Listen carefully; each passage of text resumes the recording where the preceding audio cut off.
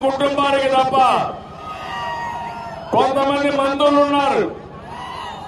ఆ మంత్రులు జగన్మోహన్ రెడ్డికి పెంపుడు కుక్కల మారిగా పనిచేస్తున్నారు.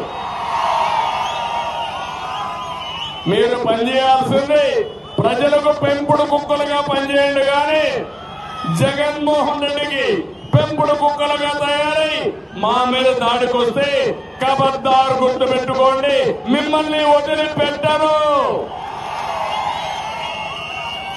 తమాషా అనుకోవద్దండి నిద్ర లేస్తే తుఫాన్ వచ్చిన తర్వాత చాలా మంది ఇబ్బందుల్లో ఉన్నారు.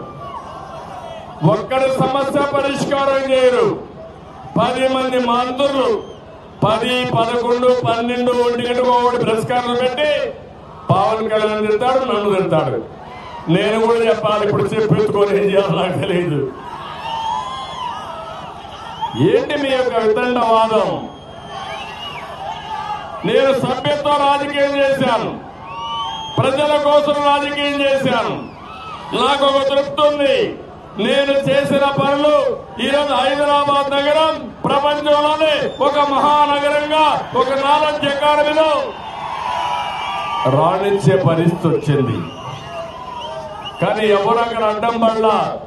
రాజశేఖర్ రెడ్డి కూడా ఆ రోజు అనుకుని హైటెక్ సిటీ గారు ధ్వంసం చేసేస్తుంటే ఆ సిటీ కూడా వచ్చేది కాదు. అదే అమరావతిని నాశనం చేసిన వ్యక్తి జగన్మోహన్ రెడ్డి. పోలవరాన్ని గోదావరిలో కలిపేసిన వ్యక్తి జగన్మోహన్ రెడ్డి.